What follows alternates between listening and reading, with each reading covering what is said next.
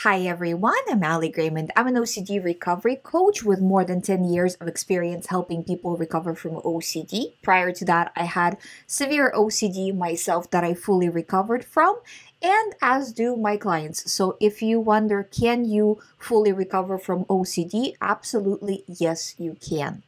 Today, I wanted to talk to you about checking behaviors. You have to understand that every time you check, you're showing your brain that this is relevant and you're setting a new pattern in your brain. Look at it this way every moment of the day, you're training your brain. You're either training it that these thoughts are relevant and important, or that these are not relevant and not important. When you're checking, you're making them important.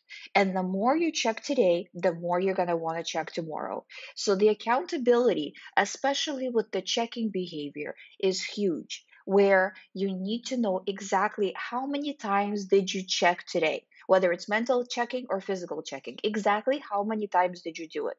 And tomorrow let's do one less it's not going to happen until you actually start tracking it because a lot of the times when i start talking with clients they'll say well i think i'm doing like this or i think i'm doing like that and it's all kind of written in water and not very specific because they don't have the specifics because they've never really tracked and never really been accountable. And then as we start to bring in this accountability where no exactly how many how many times? And then let's reduce every day. I'm sure you can reduce by one anybody can reduce by one in most situations. If you can't reduce by one, then maybe you can reduce the intensity of just the one.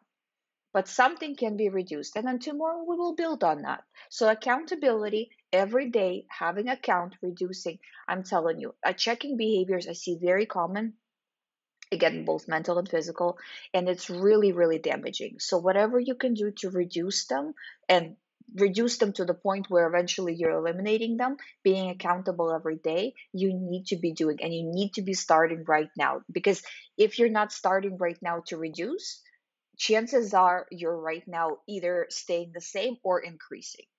So it's really important. I would just want to mention that. I hope you find my videos helpful. Thank you so much for watching. I will be back tomorrow with another video. If you haven't subscribed, please subscribe. If you would like to do one-on-one recovery program with me or with one of the coaches, please visit youhaveocd.com.